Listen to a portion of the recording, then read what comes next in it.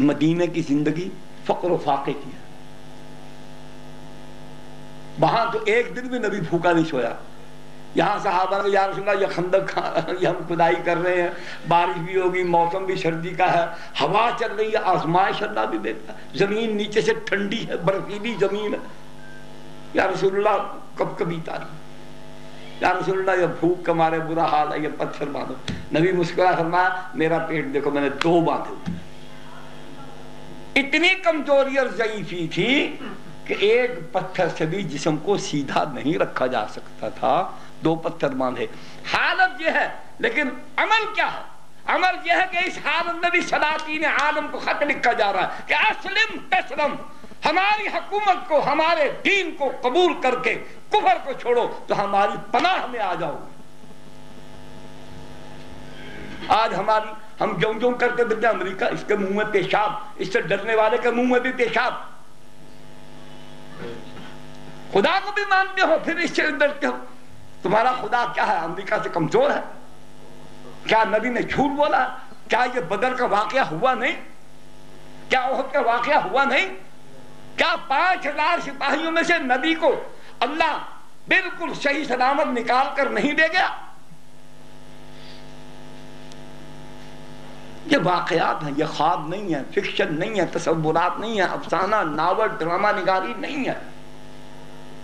ये हकायक है।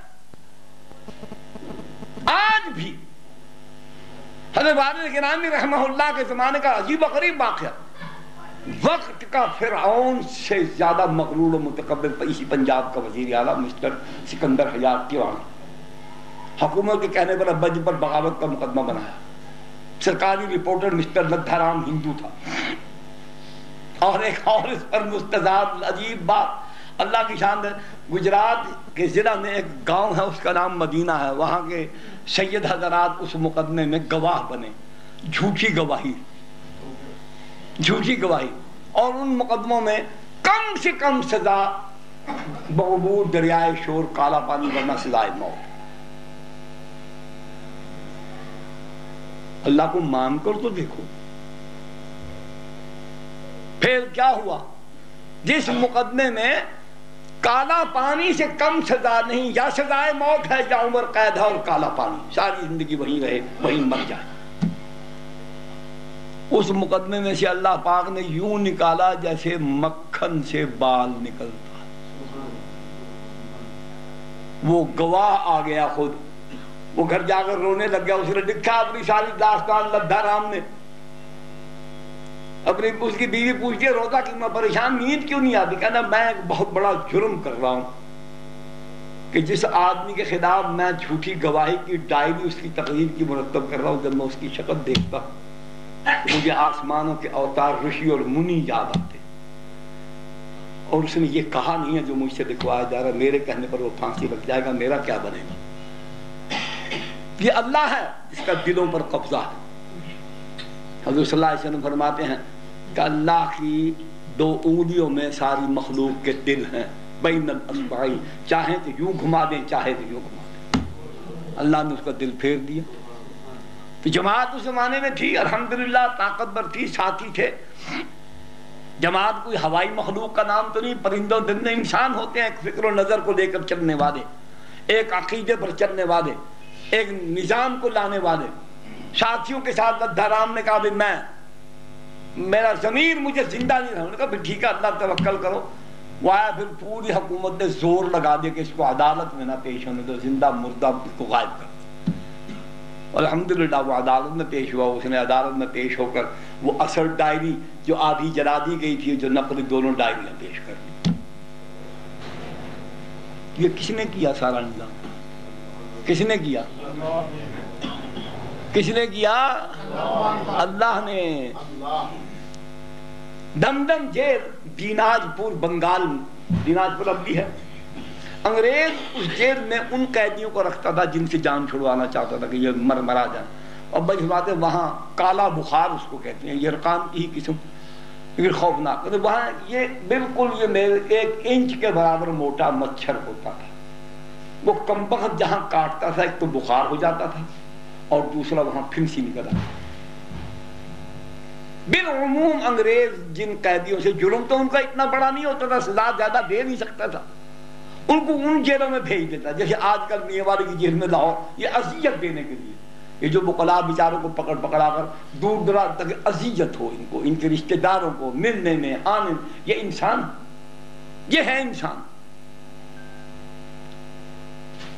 सिर्फ़ इसलिए कि इनको गायब रखो, इनको मारो, इनको पीटो, इनको जलील करो, इनको दूर दराज इलाकों में भेज दो। वहाँ इनको उन शैलों में बंद कर दो, जिन शैलों में रोशनी नहीं, जिन शैलों के अंदर हवा नहीं जाती। ये तंग आएँगे, परेशान होंगे, बीमार होंगे, हो सकता है मर जाए। उसूल इनका यही है ना कि मिस्टर वर्दी मैन की बात नहीं मानी। पूरी दुनिया के अंदर आज तक कभी ऐसा नहीं हुआ कि जजों के साथ, सुप्रीम कोर्ट और हाई कोर्ट के जजों के साथ ये जुल्म सुप्रीम कोर्ट को ताला लगा दिया गया, फौज खड़ी कर दी गई है। फरमाया कि मुझे वहाँ डाल दिया गया। बुखार हो गया। तो बुखार फुक के होता था बिल्कुल आदमी चल फिरने जयीफी हो जाती बहुत। मैं बड़ा परेशान था। ये तो हो नहीं सकता कि मैं झुक जाऊँ, इसके सामने और मैं माफ़ी मांग लू। और बारक वाले लोगों का भी यही हाल। कहते एक दिन वैसे दोपहर के वक्त लेटा हुआ तो अचानक मेरी निगाह पड़ी एक जंगला जो होता है लोहे का। मैंने देखा कि एक सांप उसमें से अंदर दाखिल होने की कोशिश कर थोड़ी देर बाद वो आ गया। मैंने पहले फ़ौरन इरादा करके जूता उठाऊं, उसको मार। तो मूजी है। किसी को नुकसान देगा। तो हजूर ने कतल मूजी कबल ईजा। तो मूजी को ईजा पहुँचाने से पहले मर फिर मेरे दिल में मान आया कि अताउल्ला इसको देख तो सही, इसका आना आम सांपों की तरह नहीं है। मैं बिल्कुल देख मैं अल्लाह के वो बिल्कुल यूँ फन लहराता हुआ, आराम से बगैर कुछ आवाज़ निकाले इधर उधर देखता देखता आया। मेरा पानी का लोटा भरा हुआ पड़ा था। वो मैं पास रखता था, प्यास लगती थी जिसम में जलन होती थी, वो पानी थोड़ा बहुत लगाता था उन फिंसियों पर जहाँ मच्छर ने काटा हुआ। वो सांप मेरी तरफ़ नहीं आया, सीधा उस लोटे की तरफ़ गया। और उसने अपना मुँह उस लोटे में डालकर जैसे घूट भरा है, एक घूट भर के लोटे में कुल्ली की, फिर दूसरा, फिर तीसरा, फिर सांप वापस चला।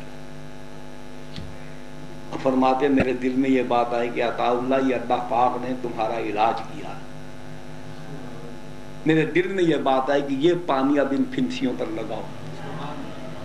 जब मैंने लगाया तो ऐसे हो गया जैसे बर्फ़ की ठंडक होती। बुखार भी अल्लाह ने दूर कर दिया, फिंसियाँ भी खत्म हो गई। वो अपना जहर जो था, वो उसमें शामिल करके चला गया। उसका जहर इतनी ही मकदार में अल्लाह ने उससे डरवाया जितना हमारे लिए मुफीद था। फिर अल्लाह ने मेरे दिल में ये बात डाली। वो सारा अमला जेल का परेशान कि ये रात को तुम मरने वाले हो रहे थे। हम इनके लाशों का बंदोबस्त कर सब हट्टे कट्टे मुस्टंडे उठ के बैठ गया नाराबाजी कर रहे हैं। सारी भारत में, वो कम से कम साठ, सत्तर हम कहती थे सिख भी, हिंदू भी मुसलमान ज़्यादा थे, वो सब अल्लाह ने हिफाजत कर तो अल्लाह तो मदद करता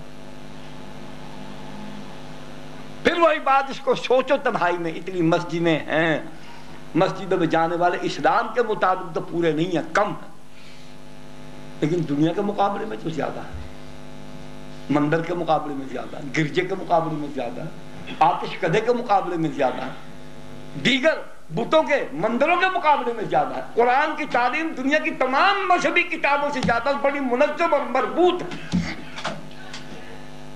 फिर तो कामयाबी क्यों नहीं? नबी सल्लल्लाहु अलैहि वसल्लम के जमाने मेरे सवाल का दूसरा हिस्सा। नबी सल्लल्लाहु अलैहि वसल्लम के जमाने में एक मस्जिद थी, बैतुल मकदस यहूदियों के कब्जे में था। और मस्जिद हराम पर नबी को नमाज़ पढ़ने की इजाज़त नहीं थी।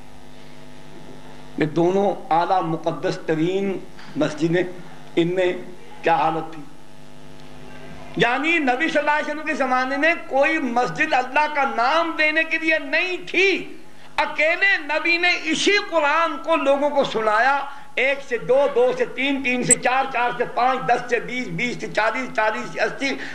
बढ़ता गया ये रोशनी का सैलाब बढ़ता गया। बढ़ता गया। हमारे मदरसे बढ़ गए, हमारे वाइज, हमारे खतीब, हमारे मुकर्र हैं जी, हमारे मुबल्लिग, हमारे मुअल्लिम, हमारे मुहद्दिस, हमारे फ़कीह, हमारे मुहद्दिस, हमारे जनाब अदीब, शायर, साहबी, ये सबसे ज़्यादा और हम दुनिया में सबसे जलील तरीन कौम। क्यों ये मज़हब गलबा नहीं पाता? हमने खुद इसकी हालत नहीं बिगाड़ दी। हमने इसकी हालत बिगाड़ दी। इसकी तालीम उस मकसद के लिए नहीं। हमारे मदारस में तरबियत नाम की तो चीज़ ही कोई नहीं रही। इल्ला कलीला, इल्ला मर रहमल्ला क्या हम मदारिस से कौम के रहबर, रहनुमा हम तैयार करते हैं? क्या हम अदीजान बातला लोगों को बताते हैं? हम दीन नहीं पढ़ाते। हम अपना अपना मसलक, अपना नज़रिया, अपनी शख्सियत पढ़ाते हैं। उसके लिए लोग तैयार हैं। जो हम पढ़ाते हैं, वो आ जाते हैं। जो हम सिखाते हैं, उसके लिए आ जाते हैं। आपने लड़ने मरने वाले तैयार किए, लड़ने मरने वाले भी आ गए। आपने पैसा मांगा, लोगों ने पैसा भी दे दिया। आपने मस्जिदें बनाई, लोगों ने बना दी। आपने मदरसे बनाए, लोगों ने बना दिए। क्या वजह है कि फिर इसी किताब के, कुरान के पढ़ने वाले, इसी नबी के मानने वाले, इसी अल्लाह की सीधा रेजी करने वाले सहाबा फटे हुए कपड़ों में, कच्चे मकानों में बोशीदा मकानों में रहकर नंगे पाँव रोम भी फतह करते हैं, ईरान भी फतह करते हैं, शाम भी फतह करते हैं। हम अपने घर की चार दीवार में अपनी बीवी और अपने बच्चों पर इस्लाम नाफिज नहीं कर सकते। खुदा बूढ़ा हो गया। कुरान की असर पसीरी खत्म हो गई या नबी के अमाल के अंदर कामयाबी का रास्ता नहीं रहा? महाज अल्लाह ऐसा सोचना, कहना कुबर। हम दीन उस मकसद के लिए पढ़ते ही नहीं जिस मकसद के लिए अल्लाह ने दिया। हम दीन की हकूमत कायम करने के लिए जंग नहीं करते, हम अपने आप को इकतदार में पहुँचाने के लिए। हम अपने आप अपने आप मैं पहुंचू, मुझे वोट दो, मैं ये हूँ, मैं अल्लामा, फहामा, मैं दुलाई लामा अलग है, उल्टा सीधा पाजामा।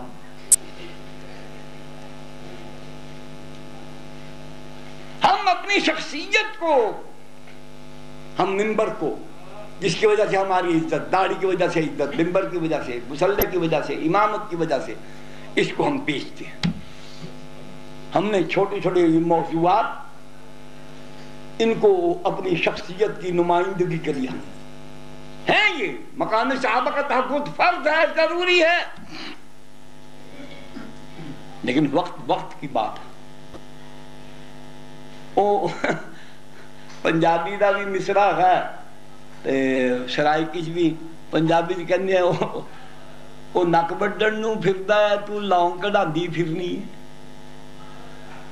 जिस नाक में तुमने लौंग सजाना है वो तो उसी को काटने को फिर रहा है वो तो तुम्हारा दीन दुनिया से इस लफ्ज का दुनिया में निशान बाकी नहीं रहने देते तुम छोटे छोटे उन्मान आपको दीन के कयाम का जरिया बनाकर बैठे हो मसला खत्म नबूत तो है दीन की बुनियाद बिल्कुल बुनियाद है। यह अकीदा है कि मसला नहीं है, यह अकीदा है। अकीदे का तहफ़ ज़रूरी है। इसलिए इस सारे दीन की इमारत हज़रत के खत्म नबूवत पर खड़ी है। बाकी मसाइल में इतनी शिद्दत इख्तियार करोगे, लिख लो।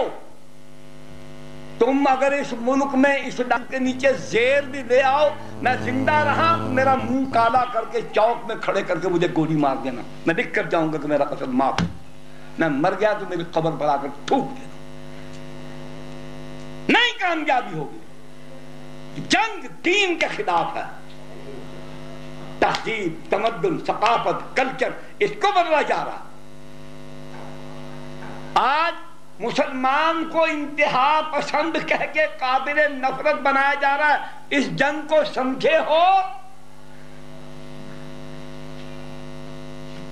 जिस मुआरे में जिना के असबाब आज़ाद यानी औरत खुली फिरती हो, औरत को अपनी जिनसी ताल्लुकात बनाने में कोई रुकावट ना हो, बल्कि तहफुद हासिल हो ये आज़ाद है, अपनी मर्ज़ी करे।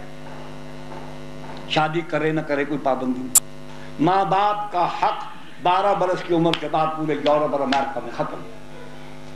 बारह बरस की बच्ची, बारह बरस के लड़के को वहाँ कोई कुछ नहीं कह सकता। यहाँ तो मरते दम तक माँ बाप का तंबी और तालीम का रिश्ता खत्म नहीं होता। मरते दम तक खत्म नहीं होता। जिस मुआरे में शराब, जिस मुआरे में मत मर्द के साथ मुकाला करे